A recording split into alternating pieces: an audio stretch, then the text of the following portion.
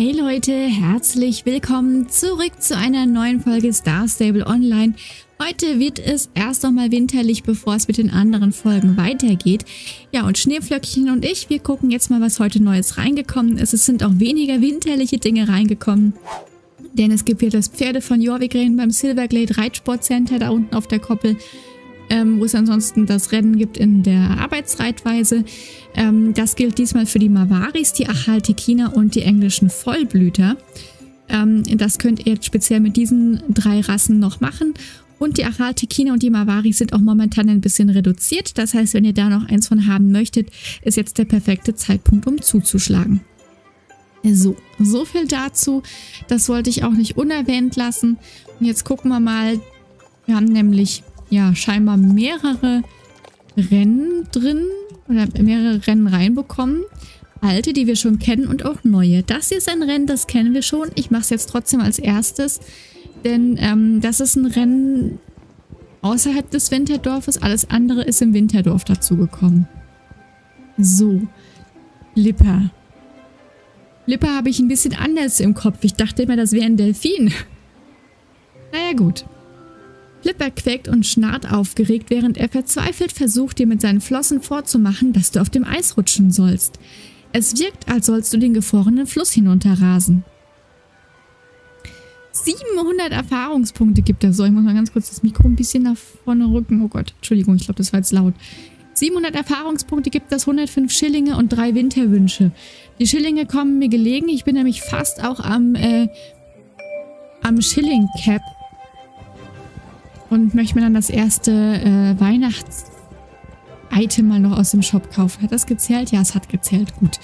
Das Rennen fand ich letztes Jahr schon sehr, sehr cool. Es ist ein sehr langes Rennen. Das geht nämlich wirklich den kompletten Silversong-Fluss runter. Und es ist auch gar nicht so leicht. Oh, guck mal, da ist eine Erinnerung. Ach. Es ist auch gar nicht so leicht, weil man hier tatsächlich schon ziemlich stark rumrutscht und teilweise noch, ähm, ja, so ein paar extra äh, Hindernisse auftauchen.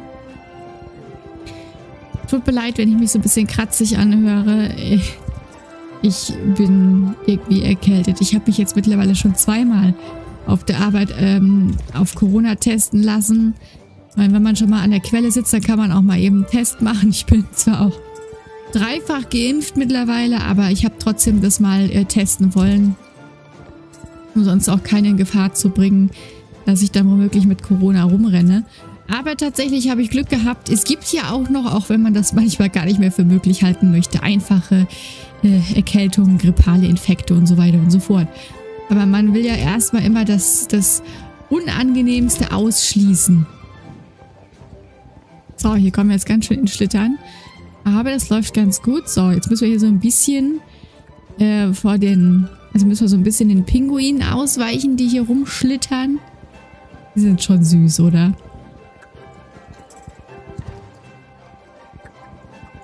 So, hier müssen wir jetzt auch nochmal so ein bisschen gucken.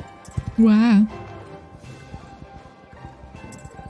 Ich will keinen Pinguin über den Haufen reiten. Das ist nicht, nicht mein Ziel. So, jetzt müssen wir da hinten einmal rum.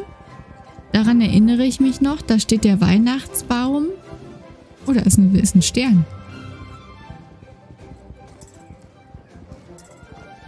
Es gibt durchaus Sterne, wo wir jetzt ähm, deutlich leichter drankommen, weil die Flüsse zugefroren sind. Eigentlich müsste ich jetzt mal so eine Eis, so eine Flusseeistour machen oder sowas. Nein, ich stecke im Hindernis. Na toll. Das muss man auch erstmal schaffen. Der Isländer ist zu klein. Ah, nein. Eieiei. Oh je, Entschuldigung, ich habe schon wieder vergessen, Oh, ich habe mir eben noch eine Voice angehört am PC und jetzt habe ich schon wieder vergessen, ähm, WhatsApp auszustellen. Es tut mir sehr, sehr leid. Es tut mir sehr, sehr leid. Ich weiß, dass jetzt auch wieder einige denken werden, ich auch letztens schon mal einen Kommentar bekommen habe, dass das total unhöflich und unprofessionell ist. Ja, es tut mir leid.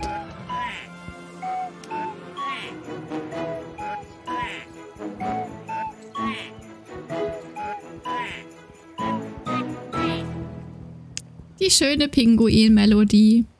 Und hier steht Flapper. Klapper ist froh, dich zu sehen. Er schlägt vor Entzücken die Flossen zusammen. Sie will dir offensichtlich sagen, dass du dich auf dem Eis so elegant bewegst wie ein Pinguin. Ja, vielleicht nicht ganz so elegant, aber vielen lieben Dank. So, das Rennen könnten wir jetzt theoretisch natürlich auch nochmal machen. Denn ähm, das war jetzt erstmal das Freischalten des Rennens. Aber jetzt geht es erstmal ins Winterdorf. Ich weiß nicht, ob wir das jetzt heute auch noch alles packen. Ich glaube, vielleicht sogar eher nicht. Aber das macht ja nichts. Dann haben wir noch ein bisschen mehr Inhalt. Und dann gucken wir mal. Ich bin mir sogar ziemlich sicher, dass das nicht hinhauen wird. Weil hier gibt es nämlich wohl auch nochmal mehrere neue Rennen, Springparcours und auch nochmal ein Pinguinrennen ähm, und wohl noch so eine Art Polarwolf-Rettung. Ich bin sehr gespannt. Ähm, gucken wir uns auf jeden Fall an. So. Gut, dann wollen wir doch mal schauen. Also erstmal hier runter. Ich glaube, die Rettung ist hier hinten. Und oha. Oder vielleicht auch nicht, vielleicht auch hier. Nee, guck mal, Anführerin, ja gut. Nee, dann machen wir heute machen wir erstmal winterliche Rennen, würde ich sagen. Dann gucken wir erstmal da hinten. Ähm, ich weiß aber nicht, das eine, das, das las sich so, als ob es drei unterschiedliche Springparcours wären. Es kann aber auch sein, dass es vielleicht nur so ähm, Parcours sind. Ich glaube, das ist auf der Koppel einfach nur. Ich glaube, das sind keine Quests. Hallöchen, in diesem Winter veranstalten wir ein ganz besonderes Rennen. Es führt dich auf eine wundervolle Reise durch den Wald und über den gefrorenen See. Aber pass auf die Pinguine auf. Sie leben nahe der Strecke und könnten deinen Weg jederzeit kreuzen. So, guck mal, es gibt auch nochmal 400 Erfahrungspunkte, 150 Erfahrungspunkte für uns, 30 Schillinge und drei Winterwünsche. Dann wollen wir nochmal loslegen. Mal 900, äh, 9813. Ach, da ging es schon weiter. Nee, das will ich nochmal machen. 9813 Schillinge habe ich jetzt gerade. Dann äh, werden wir, wie gesagt, auch gleich mal noch kurz, äh, kurz was shoppen gehen. Ich glaube, da könnte ich sogar auch schon vor, äh, also vorne rumreiten und dem Hindernis aus dem Weg gehen. Aber bei den Rennen ist es mir eigentlich tatsächlich ziemlich egal, ob ich jetzt einen neuen Highscore aufstelle oder nicht. So. Ähm. Hoppala. Ja, der hat mich so ein bisschen aus dem, aus dem Tritt gebracht hier. Da, habe ich gar nicht drauf geachtet. War so von den Eiskristallen hier ähm, fasziniert. Das Rennen, das haben wir auch noch nicht gehabt bislang. Oh, ja. Ist das gleiche passiert wie der Skylar.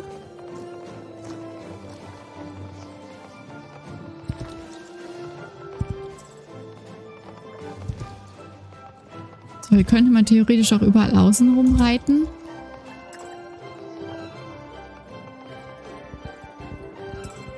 So, jetzt geht's hier rauf. Also das finde ich auch sehr, sehr cool. Das ist auf jeden Fall ein brandneues Rennen. Das haben wir so noch nicht gehabt. Was wir hier letztes Jahr gehabt haben, oder die letzten Jahre, ich weiß gerade gar nicht mehr, ob es letztes Jahr auch noch da gewesen ist. Das war dieses super nervige Julbock einfangen auf dem gefrorenen See, was ich einfach schrecklich fand.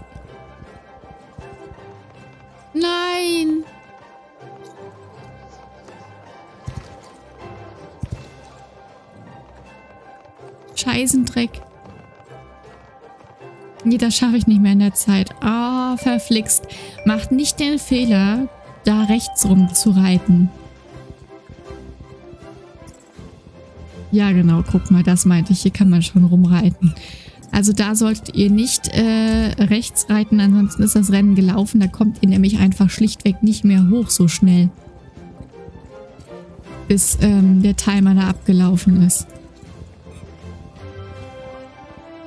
So, da wuselt wieder einer rum. Diesmal haben wir einen anderen mitgenommen.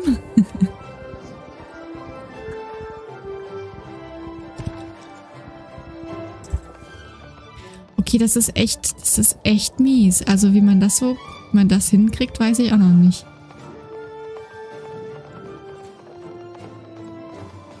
Die hinter mir hat es geschafft. Ach, verflixt. Jetzt bin ich vor lauter Gucken hier dran vorbei geslidet. Okay. Bis er nochmal anfangen. Ärgerlich, dass ich das beim ersten Mal, ähm, dass ich das beim ersten Mal verbockt habe hier. Na gut, ist ja auch nicht schlimm. Ähm, ich werde es jetzt gleich mal ausprobieren, an der einen Stelle ein bisschen früher abzuspringen und dann gucken wir mal. Ach, verflixt. Ich hatte gedacht, der, der slidet nach hinten weiter.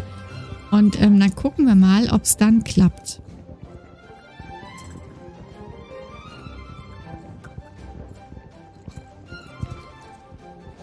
So.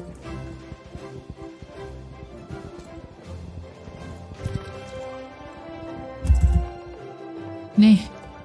Also ich weiß es nicht, ob das wirklich so von Star Stable gewollt ist. Das ist ja echt blöd zu reiten.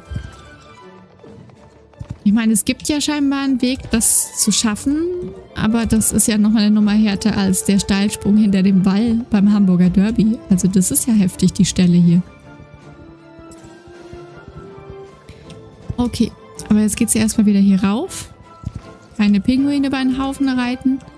Es gibt schlechtes Karma beim Weihnachtsmann.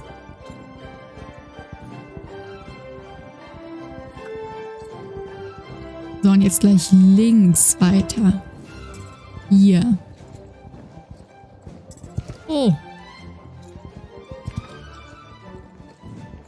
Können wir das Ganze vielleicht sogar ein bisschen beschleunigen, indem wir ab und an mal ein bisschen hochspringen?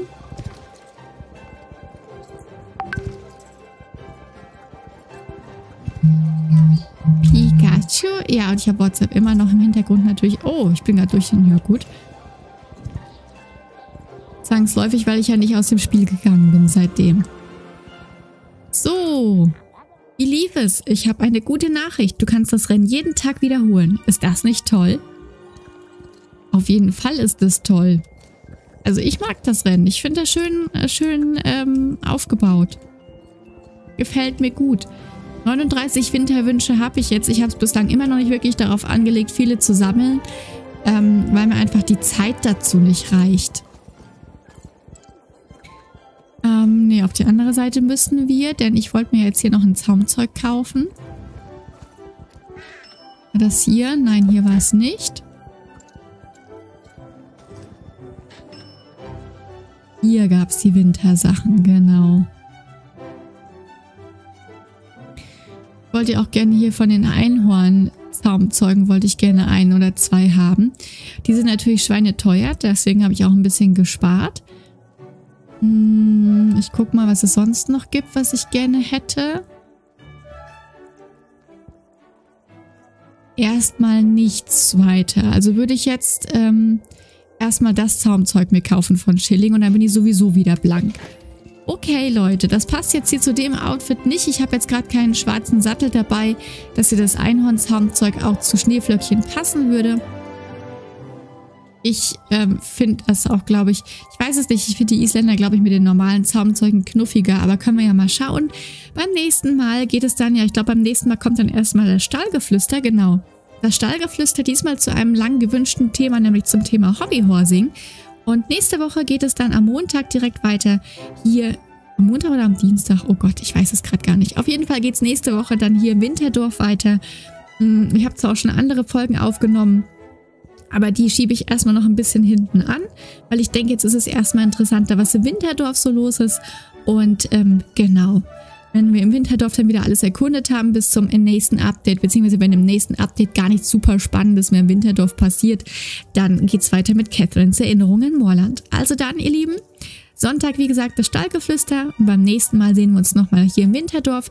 Dann geht's zur Polarfuchsrettung. Ich bin sehr gespannt, was sich dahinter verbirgt. Also macht's gut und bis dahin. Tschüss!